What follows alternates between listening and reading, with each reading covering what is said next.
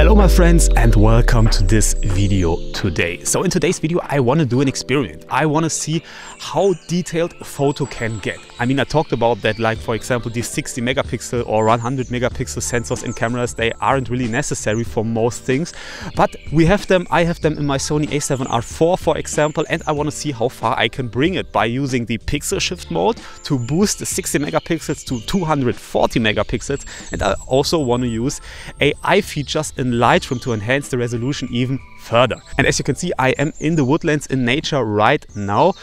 And uh, it is autumn, we have October. However, the autumn colors, they aren't really there. So I have to see what I can do. There are some trees that already have this beautiful yellow, orange, reddish colors. You know, we all love them, we all know them. However, most trees don't have these colors. So we will have to see. I will get on now and I see if I can find a beautiful composition because if we want to take the most detailed photo ever, then it should be a pretty good composition, I believe. So yeah, let's head on now and see what we can do.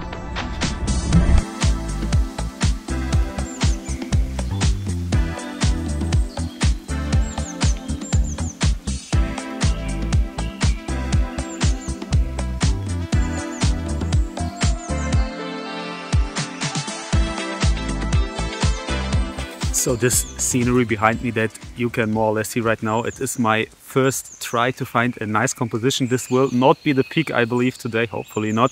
But I just want to get to used to the process because I have never used the pixel shift mode because who needs more than 60 megapixels, honestly.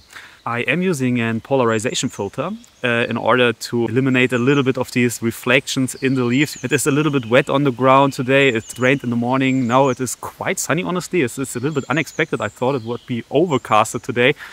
Nonetheless, I will try out different compositions now and see how this is going.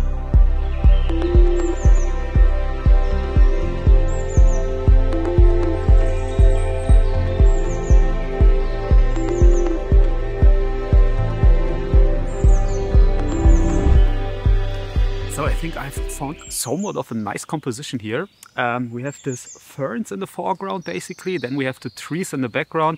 Again, we don't have the most stunning autumn colors here, however, the ferns, they have a little bit of this brownish reddish color to it because it is autumn, as I said. And I think this kind of looks good. We will have to see later. And I also did a panoramic shot. So I did multiple exposures, all with pixel shift. And uh, yeah, basically we have like 720 megapixels, not quite because, you know, it overlaps a little bit. And uh, yeah, later we will do the enhancement in Lightroom. So we will see where we get this thing. It will be huge file sizes, that is for sure.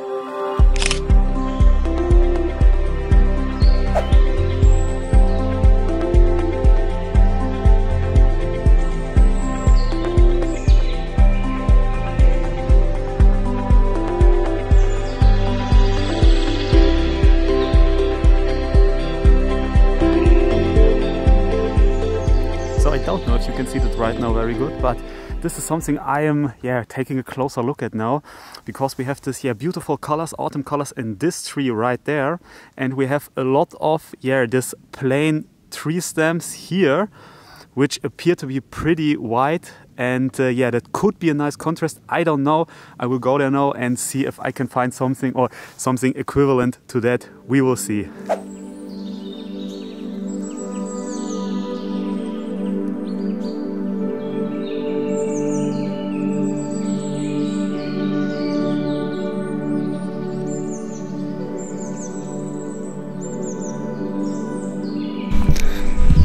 So I focused myself on two or three different compositions here and I just waited. I waited here until the light changed. You know, we have sunlight. I didn't expect that today, honestly, which is somewhat of a burden because, you know, I'm here in the middle of the day. We have like 10 a.m. right now. So it's not sunrise or sunset. And I expected it to be overcasted the whole day, which isn't necessarily bad if you want to take landscape pictures. It always depends a little bit on what you want to take. But for example, I don't want to take pictures of the blue sky at the moment because the sun really burns down from above. It looks beautiful. But this is the reason why I yeah switched to this location here where we have a lot of trees and the sunlight, yeah, it kind of falls between the trees, which creates a nice effect At least I hope so. We will see in the pictures later. As I said, I took a lot of panoramic shots so I can stitch them together later. And I'm really, really curious how the results are gonna turn out because yeah, it should get us a ton of detail. I am very curious how we how far we can yeah zoom in basically later.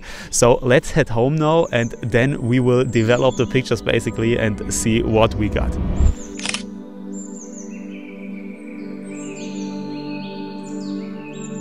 So after arriving back at home, I transferred all the files over to my computer and then I used a program called Pixel Shift to DNG so I could basically just select a folder and let the program stitch all these photos together. And from 450 initial pictures, after stitching them together and after creating the panoramic shots, I ended up with six final pictures and I somewhat liked this process. It was really slow, but it reminded me a little bit of, yeah, the old analog days where you had to develop your photos first and that also obviously took time. And at this time, basically the problem started because I imported the DNG files into Lightroom and it was just insanely slow. I mean, it is a little bit to be expected when you work with file sizes that huge. However, It was barely usable, the whole program. Photoshop wasn't better. So yeah, I talk about that in a second right now, but it was a really, really painstakingly slow process.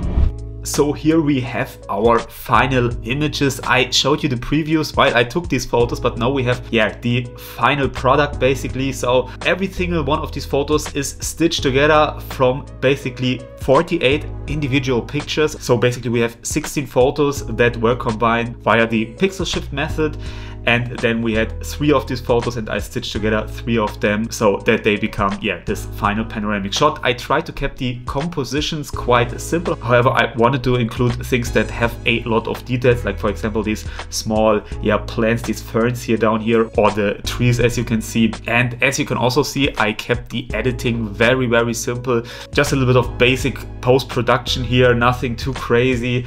I tried to enhance the light a little bit uh, with a with the radial mask here up in the left corner and you, you just saw it.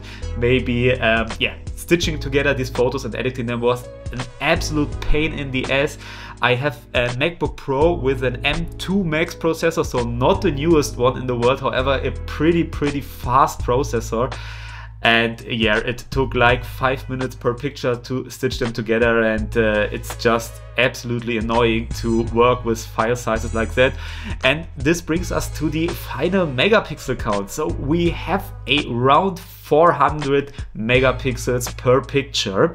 However this does not include the AI scale up Unfortunately, Photoshop and Lightroom as well, they have a limit on how far you can bring this and the limit is at 500 megapixels. So basically we have a 400 megapixel photo here. If I would scale it up two times in every direction, we would end up with at least four times as much. So with at least 1600 megapixels. So this was not possible. You could obviously cut these photos in slices basically and enhance every slice one after the other. That would be possible. Um, I did this for one picture for this one here. So as I said, I ended up with around 1500 megapixels, so one and a half gigapixels, which is insane. But I found that the photo does not become so much more detailed with it. So I skipped this for the other photos because as I said, it is an absolute pain in the ass to work with a photo this big.